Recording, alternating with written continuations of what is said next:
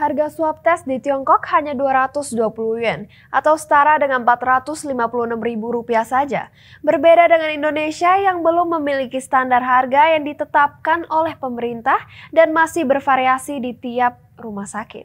Harga swab test di Tiongkok hanya dihargai dengan Rp456.000 saja.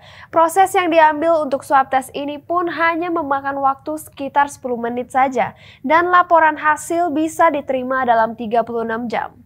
Sementara di Indonesia, biaya swab test sangat bervariasi tergantung tiap rumah sakit. Meski begitu, biaya rapid test telah diseragamkan dengan biaya Rp150.000 saja untuk tarif tertingginya. Menurut Kemenkes RI, hal ini dikarenakan peralatan swab test yang lebih mahal daripada rapid test.